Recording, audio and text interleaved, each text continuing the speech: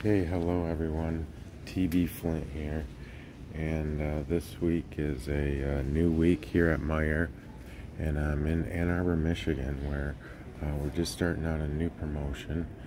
And it's this um, very wide reaching, we can imagine, oops, my shop and scan I have open here. You can see um, it's a very wide reaching promotion, is my point. And um,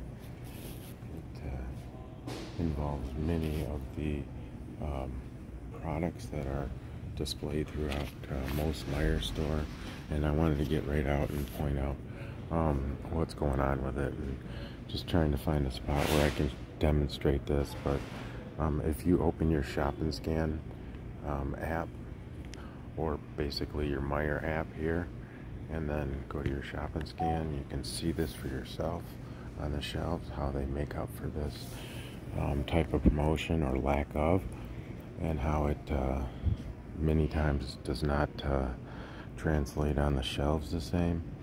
And this promotion is supposed to give um, $8 off instantly, which that is hit and miss as it is. And um, what I'm going to demonstrate now is how they've increased the prices on these in order to um, kind of even make when they do have to pay out that discount seem bigger. So with that, uh, let's just take a look here the first one. exactly there. See how that says 649 for that price and uh, uh, pretty clearly for this uh, dog toy you'd think it was 5.99 so um, that's part of this shell game that they play up and down with prices but uh, this is a uh, thing that is something that's dog toy. Oops, sorry, closing out dog toy. You can see there's 7.49, and this one is 6.99. Now, um, there is inflation. There are other compensating factors, but if you take this right now up and down these, up and down these um, rows like this, you can see for yourself, and it is absolutely astonishing um, to see that week in and week out here. So look, and see, it says 5.99.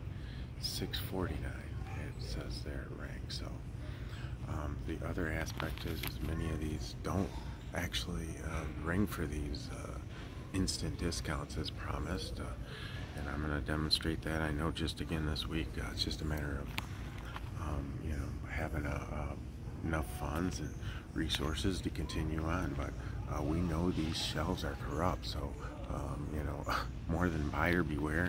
Buyer watch out when you shop at Meijer for your, your prices that you're relying on uh, to be true because, um, you know, it's just everywhere. 7.99. See, that one's 8.49. So, you know, we do have inflation, but we also have an expectation of, you know, truth and honesty and accuracy. So, with that, I'm uh, gonna sign off here. Thanks again for watching.